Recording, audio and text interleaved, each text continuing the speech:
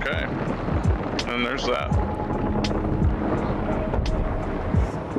I just think we found another bug. Yeah, probably right. I shot it in the water, by the way. And I can sit. Cl cl I'm actually clipping that, by the way. Without a doubt, ship combat will be the largest skill cap in this game. Knowing what to do and what not to do will make or break whether you sail away in victory with bountiful loot or go down with the ship in tragic loss.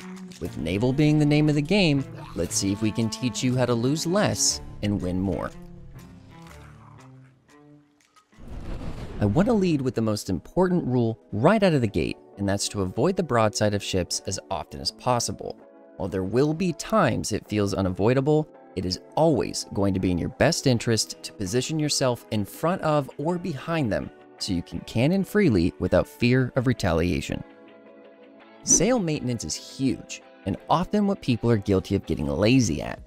Aim to catch the wind as best you can, unless it's your goal to sail against it. Then naturally aim the sails towards the wind. The exception to this rule is the sloop, where you either choose to catch full wind or otherwise keep the sails faced forward. It doesn't make any sense, but it is what it is. Raising your sails will slow you down, but it will also allow for tighter turns and better control over your boat. The bigger the boat, the longer will take to raise the sails and the more you'll have to raise to see a difference. With practice though, you'll find the sweet spot that allows for the dreaded death circle, which is when you raise your sails and turn your boat just enough that you can cannon all around the enemy and make new holes rather than just a few in the same spot.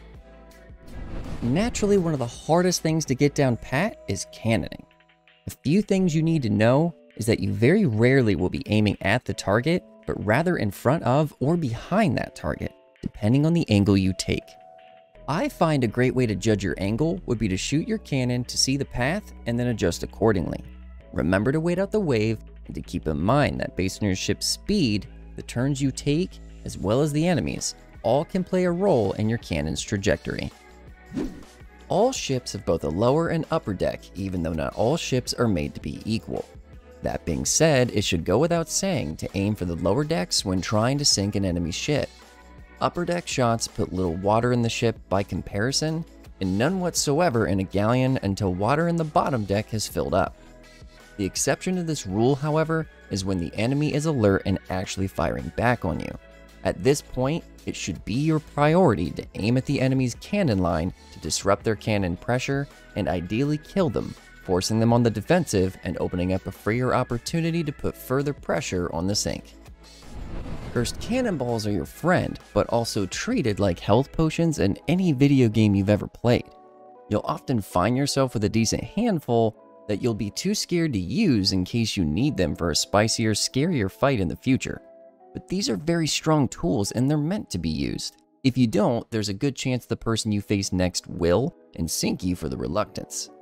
Here's a quick list I made illustrating what I believe to be best to worst, but at the end of the day, fights are always circumstantial, so use what you feel fits the situation best. I'll also put a link down below to show you all the different types that are in the game, along with their specific uses. Now, chain shots are best friend material and one of the strongest things you can use against a crew. Because they are heavier than cannonballs, you do have to aim higher for more distance.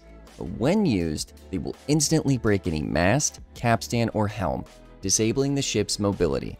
This is an extremely effective tool that allows you to take control of the fight's pacing and denying them a proper means to respond, giving you plenty of room to pummel the ship or even safely board once you felt you've put in enough pressure. Blunderbombs are a personal favorite of mine for many reasons, however in terms of ship combat, they are vital in controlling the enemy's pressure against you. For example, if opening with a chain shot you notice the enemy pulling up their mast, use the blunderbombs for both CC and damage to disrupt the action and force the mast back down. With enough pressure, you might knock them off or even kill them keeping them from recovering and repairing the ship for retaliation. Firebombs have a place in fights, but to me are very circumstantial. They are mainly used to be a nuisance, however I have found them to be most useful if you see a keg in the enemy's crow's nest where fire on the mast will blow it up. Otherwise, just reserve fire for galleons where putting it out is very tedious, or for boarding sloops and brigs, which we'll get to here next. Even though you'll find too many people to do this carelessly, you do have to remember that boarding enemy ships plays a major role in ship combat as well. Assuming you've applied everything you've learned thus far, naval alone simply may not be enough.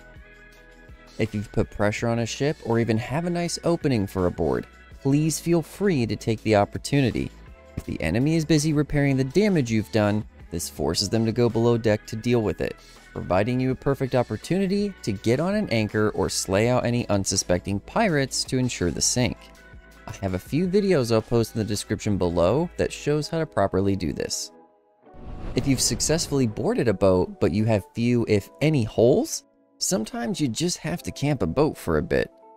It sounds toxic, I know, but as long as it's your goal to sink them and not to bucket them just for camping's sake, then it's usually sanctioned. Easy ways to ensure some ships sink are to firebomb the upper decks of sloops or brigs, to poke swift holes so that water can get through, but as far as galleons go, spreading massive fire can buy you time and act as a distraction to reboard your ship and fire your cannons. Now, realizing we focus quite a bit on being aggressive towards enemy ships, it's also crucial to understand how to defend your own. For example, even though taking masts down is very beneficial for you, losing your own isn't. Don't forget your own ship maintenance by getting tunnel vision into fighting someone else. Everything you aim to pull off against them, they plan to return in kind, and so making sure you switch between buckets and cannon shots repairing your wheels, and repairing your masts, or even resetting the fight can be the difference between sinking or swimming.